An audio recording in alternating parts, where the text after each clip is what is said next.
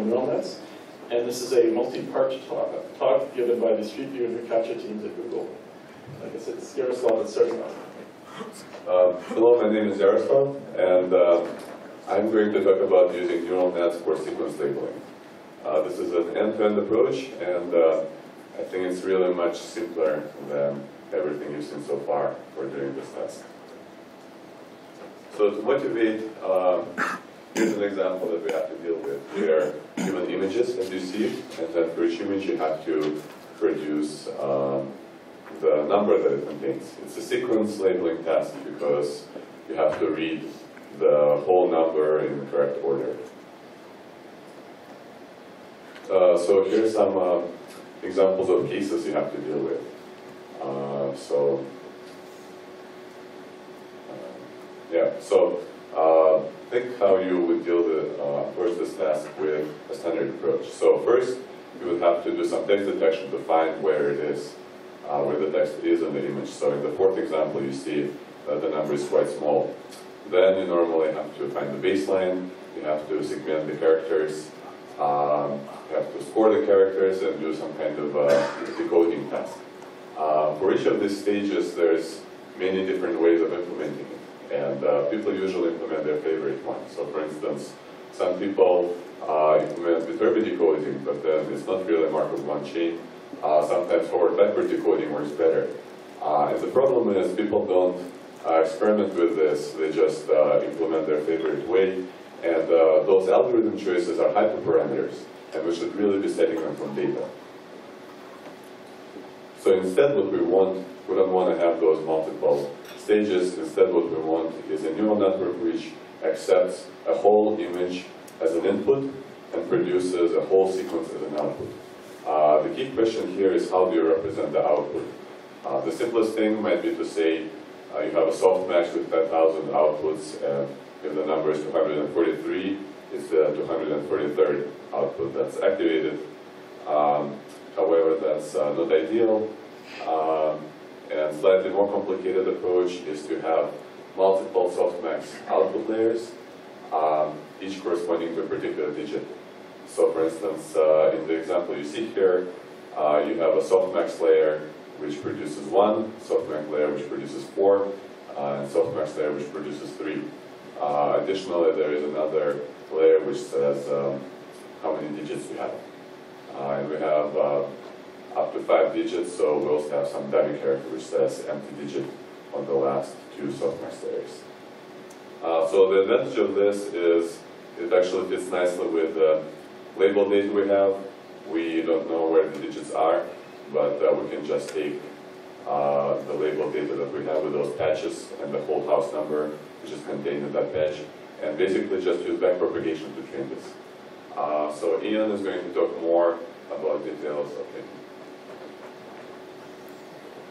Overall, you can view the model as a simple conditional graphical model where we have inputs represented by the random variable x, and that's just an image.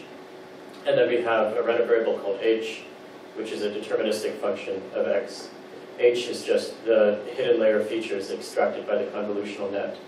And one nice thing about this approach is that because h is a deterministic function of x, we only need to compute once, and then we can use it for all the other outputs we can afford to make H be fairly complicated and expensive. That's different than if we were using some sort of approach that involved a sliding window or running the net multiple times on different segments.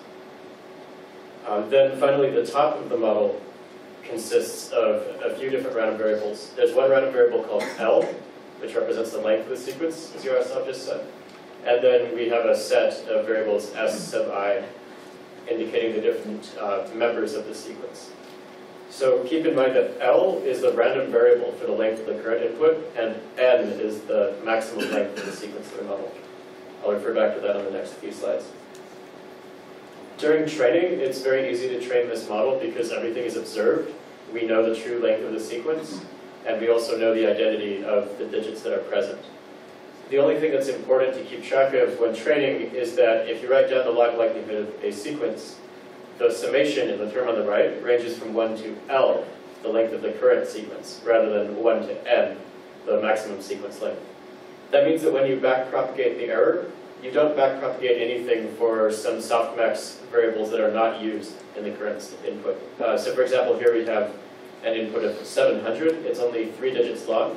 So the uh, positions for the fourth and fifth digits don't receive any training on this example.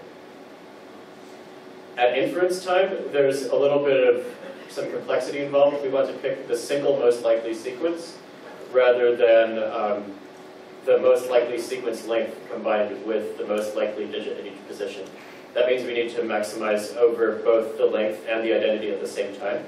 Sometimes you can choose a single most likely sequence that is shorter than the length predictor would predict on its own. But overall, inference is still linear in the maximum sequence length, so it's quite cheap and efficient. Using this approach, we get 95.6% accuracy on full sequences on the public Street View house numbers dataset.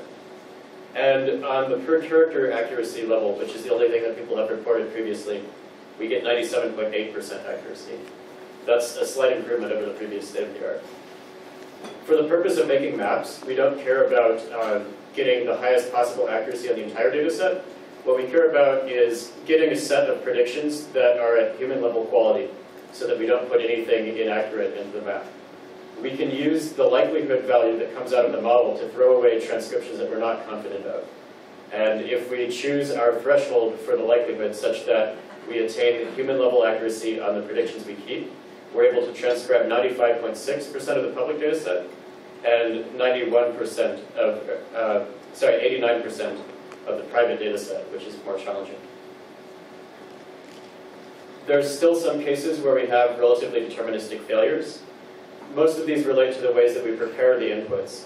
For example, if you look at the two example inputs on the right, there's one of them where we have cropped the number too tightly, and we can only see the 2 and the 3 of a house number that's actually 239. There's another image where our crop includes other text nearby, and we've transcribed some of that other text. One reason that we were able to succeed with this simple neural net-based approach instead of using an HMM is that we made the neural net very deep. You can think of depth as giving the neural net extra stages in which it can accomplish tasks like segmentation or localization of individual digits. In this plot, we show that every time we increase the depth of the model, our performance improved. And our best model was 11 layers deep. You might look at this and think that it's only doing better because the model is getting bigger. So we ran some control experiments where we used different depths of models and increased the number of parameters. As you can see, if the model is too shallow, it will begin to overfit as you increase the number of parameters. Depth is a very good prior that says that the function should be formed by composing many different functions together so that some can do pre-processing steps like segmentation and others can do steps like recognizing the digits after they've been segmented. Uh, that's everything for my part of the presentation. Now Julian will tell you about the business side of this project.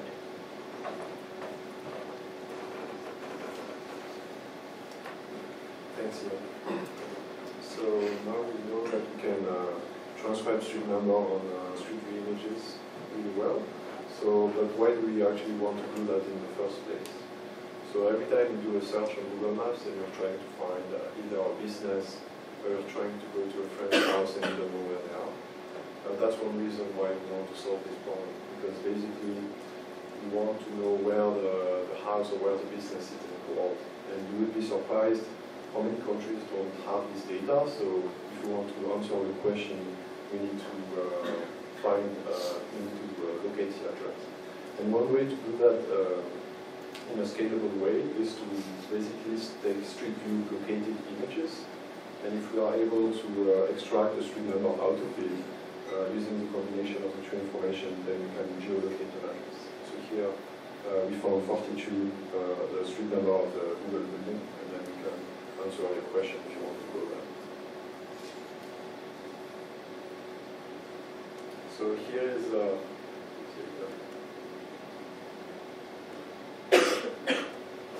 so here is a result on the, the entire uh, automated extraction of numbers of Street View. This is in Sao Paulo, uh, Brazil.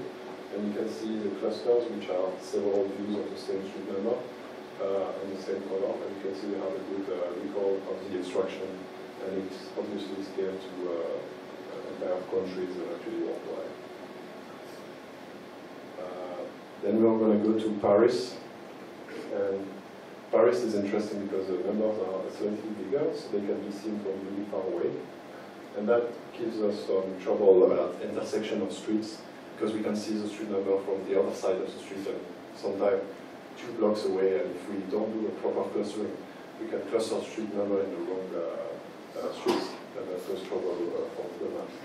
This is in um, uh, South Africa, and the interesting thing here is we never train our model in uh, this country, so we can see here that the models are generalized properly.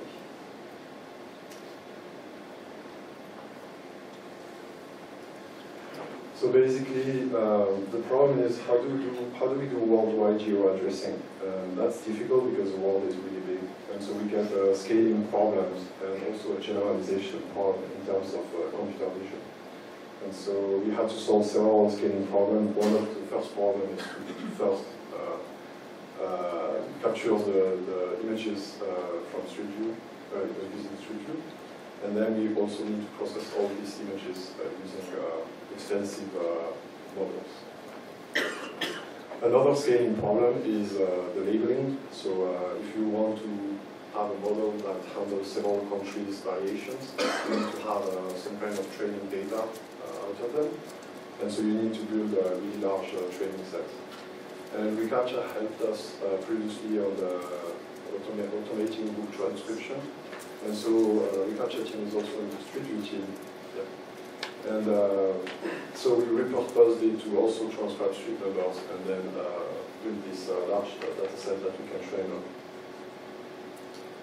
So one of the questions we start to ask ourselves is, because this model can handle really complicated baseline and is really robust to segmentation difficulties, could it actually solve CAPTCHAs? Because CAPTCHAs were designed to uh, make the traditional OCR approach with several uh, stages fail.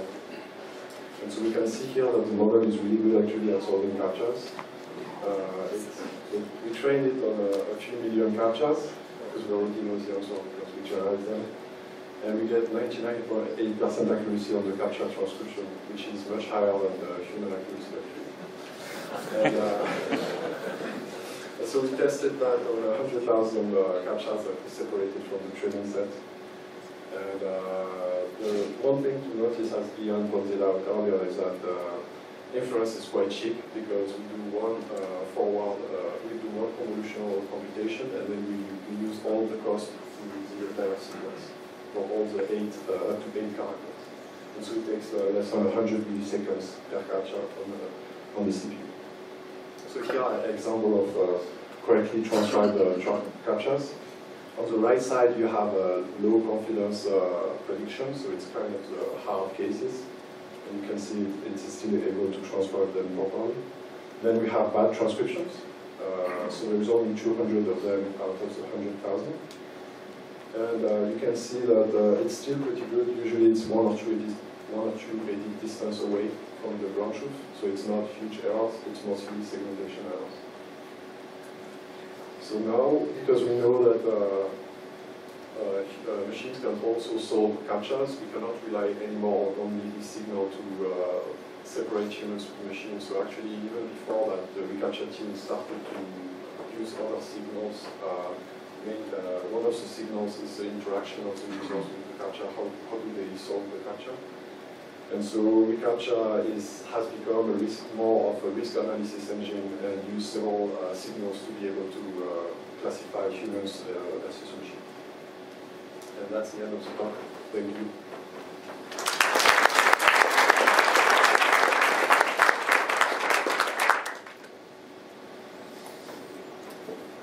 Any questions? Is there a kind of benchmark for CAPTCHAs? Uh, no. This was more to uh, kind of uh, doing some security audit to check uh, what was possible with uh, current uh, approaches. So the experiment on the uh, view numbers, they compare to the traditional approach. So you were saying that this approach is much faster, more accurate, but we have So, also. so we if you compare to Viterbi decoding, uh, So we started, we had an engine uh, which goes around uh, six So we started, and we had an engine which was optimized for photographic text, and we were getting around 61 to 65 percent accuracy. And then we moved to this, we got 91 percent accuracy. That, that model was uh, That was a model was traditional. Uh, so replicated TN convolutional nets with no. Viterbi? Uh, No, what was uh, that? No, it was more. Uh, the character classifier was a convolutional neural network, Oh, but the okay. other stages were more heuristic. Well, there are, there are two traditional approaches, right? One is you, you pre-segment and you apply the convolutional net, and then you have some sort of decoding. And then uh, the other traditional approach is you take the entire string, you apply the convolutional net, uh, you know, on the entire string, but then you still have location because you kind of have like a sliding window, and then you do some sort of decoding on top. But it's it's more like what you're doing, except there's a little bit of constraints. You know, Right. it's, you know, instead of having a single output and then a whole bunch of characters, you kind of have vague localizations. Right. the, the, the demo I have on my website actually works this way. Right, and the point is which one you choose is a hyperparameter, so we shouldn't think about uh, what we do. So this is really more like the this number two traditional approach of what we used to call this space displacement neural nets, but they're really convolutional nets. Yeah, but uh, I think on this one, I think you're talking about your paper where you, where you still kind of get out of the neural net and do uh, some kind of alignment with the training data. right? So you need to do bootstrapping to learn the character classifier. Yeah. Yes. Well, it works. It works faster if you do this, but you don't necessarily have to. Right, so it's a choice. Do you do bootstrapping? Do you do something else that's a hyperparameter? And the point is we don't want to have to choose. Um, Uh, Actually, I had a question for you, Ian. Uh, You mentioned about the relationship between depth and the the sort of number of computational processes involved in inference. Uh, I think that's really interesting. I was wondering if you thought about how you could study that explicitly. Okay, so Aaron's asking, how can I explicitly study the idea that I put out, that you can think of each layer as being a different stage of processing? Um, I haven't thought a lot about how to explicitly analyze that, but it seems like visualization techniques would be a good first point, that we could start looking at what the individual features in the net actually represent. Yeah. And, I was, I was thinking you could also imagine like a, a series of tasks that each seem to evidently require an extra step of computation in the inference process. And then you could evaluate the different, the, the depth, or compare different models of different depth and see how they're relative, compare their relative. Yeah, so to some extent, we've kind of seen that in a natural experiment already. If you look at things like ImageNet, where you need to localize the object as well as recognize it, those state-of-the-art methods have more layers than things on, for example, CIFAR 10, where you only need to recognize the object because it's already been centered and cropped. But it would be good if we could design tasks that uh, control this a little bit more, Right. because CIFAR 10 also has fewer examples. Good, thank you. If there's no other questions, let's, oh, we can have question. So I I was interested in the case that when your L was three and you were training forward, you were completely ignoring the backprop from S4 and S5. Is there no signal at all there that you can somehow capture? Uh, If you just write down the definition of the probability of the sequence and then derive it, the derivative with respect to those final elements is zero. So there might be another way of parameterizing your model that puts some gradient on them, but the way we chose to parameterize it just doesn't. Yeah, the, the backprop wasn't really a design choice, it just falls out of the way that we wrote down the probability expression. the, the captcha, uh, were testing on uh, elements that were generated in the same generative process as the training set? Was the testing set generated in the same way the training set was? Yes, yes, yes. So it's not like a, So the result is not exactly proper. well, uh, it's not, uh, the, the, the sequence is not in the test set. Right? So in the, in the training set, we never saw the same sequence as Oh, in it's the, well, same distribution. Uh, Yes, but that's why we get much better result uh, Yeah, yeah. than uh, street number where we need to generalize more. Yeah. So it's not like, uh, uh, the, the, the results are kind of uh, expected if you Yeah. look at this kind of. Uh, So- you just see it on the So it's as proper as the Vicarious results, which is great reCAPTCHA, and also did some experiments. And got what percentage? Ninety percent, I think. Yeah, like, I mean, even, even if uh, the test set is uh, the same kind of as the training set, it's not exactly the same because first it's a randomized uh, distortion, so that you never see exactly the same distortion. And as we said, the sequence was never seen during the training, so it has to do a proper decoding of the sequence. It has to find the, the segment characters and localize them, etc. So there's still some some uh, difficulty to solve that. Otherwise, it would have been solved already, right? Yeah, uh, I guess it's just interesting that, uh, well, it would be interesting to have a benchmark test of captchas because usually. we Well, have more- what, what you're showing here is that uh, natural images are harder to solve, so that we should maybe focus on harder forms. All right, let's thank our speakers again.